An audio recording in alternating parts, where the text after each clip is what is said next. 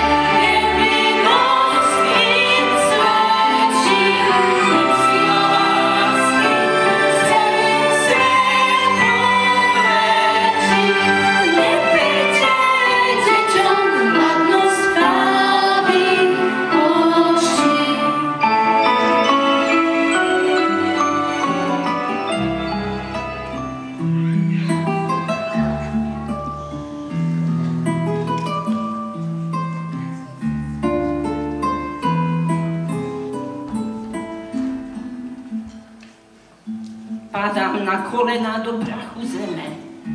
Prosím, suché lístie o trocha vône.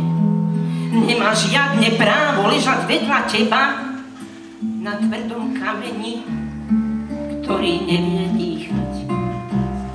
Začul som ďalké lásku, ktorá spieva.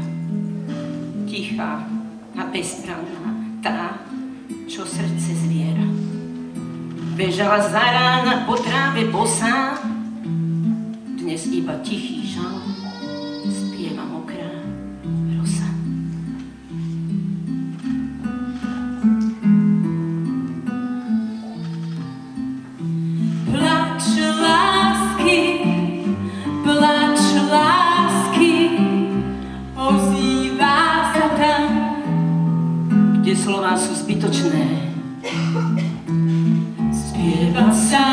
a tichý žal.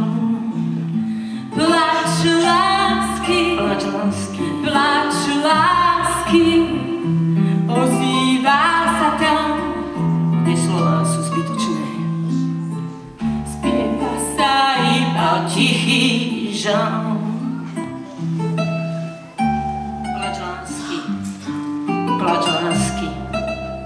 Ozýva sa tam, kde slova sú zbytočné.